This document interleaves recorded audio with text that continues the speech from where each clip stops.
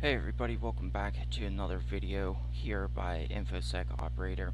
Thank you guys so much for joining me on this video. Uh, today we're going to be taking a small step back and I kind of failed to cover this in previous videos is um, you know what what do you need to know to begin becoming a really good cybersecurity expert um, or even just branching into the cybersecurity field in general, uh, the, the, these are things that you're going to run into whether you like it or not if you ever want to get anywhere in cybersecurity or information security.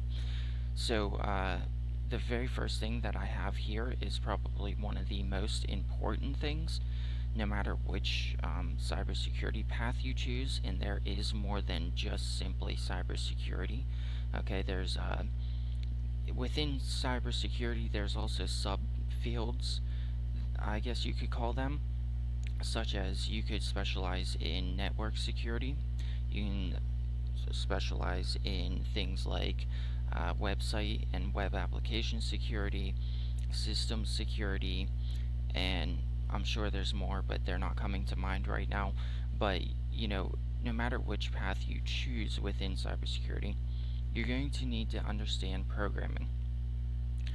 The languages that I have up on the screen are not the only languages, but the primary languages in which you should understand um, to begin becoming well versed in one of these fields. So I have listed Python, HTML, and JavaScript. Now the reason why I have HTML and JavaScript is because eventually you are going to run into online security uh, being that of a website or web application and you're going to be looking at source code and um, how a website is working and running uh, via its code. So you're going to need to understand HTML and JavaScript. I'm sure there's more. Um, you know we know that uh, there's Ruby on Rails there's Angular um, you know, uh, many other languages, but I'm talking about the very basics here. You should understand HTML and JavaScript. The reason I mentioned Python is more for your ethical hacker or penetration tester. Um, but also, it does work in web development too. But Python is primarily for your exploits, your viruses, and things like that. So you're going to need to understand how to read that, how to create um, you know code in, uh, through Python to carry out specific uh, tasks such as breaking into um, you know multiple things. Python can even manipulate uh, memory and you know much like C programming. But Python is pretty easy to learn uh, next to HTML and JavaScript. So that's why those three are the primary ones that each of you should start out with.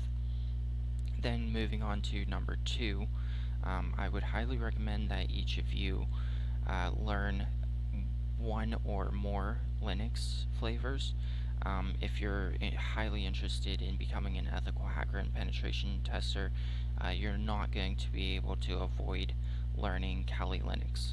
Kali Linux was specifically designed for penetration testing and ethical hacking, um, and it is the leading Linux for such. So I would learn everything that you can starting with Kali Linux. Um, that's where I started. I never knew that Ubuntu, CentOS, Debian, and Fedora and all that other um, Linux versions existed. I actually started with Kali Linux. So I would recommend uh, that you start with Kali Linux, but if you're not really interested in penetration testing or ethical hacking, um, you are still going to need to understand some some structure of Linux uh, in order to succeed in this field. Uh, so things that you can learn within Linux is file structure, running servers, um, you know how to bring um, programs onto that Linux and run those programs and set them up. It's not quite as simple as Windows where you just click and download and it basically does everything for you. Um, you're going to have to call them in through the terminal and things like that. So uh, definitely learn Linux. Learn everything you can about Linux. And then number three here, it goes for no matter what field you, you choose, even if you're not in cybersecurity and you're just in information technology or computer science, you're going to need to understand networks no matter what you do in the computer field in general. Um, so, you know, things like the OSI model, TCP IP, um, how data is packed and sent and encrypted and decrypted and loaded over across the network to its destination, how how computers communicate with each other. Um, without networks, computers are irrelevant other than basic uh, mathematical calculations and things like that. Um, so definitely you're going to have to study networks. Um, a good resource for that, and I'll go ahead and link it down into the description below, is cybrary.it. You can get the entire Com CompTIA Network Plus um, certification material on that website for free uh, via video and other resources. So you'll become very, very well versed in networks by the time you're done there.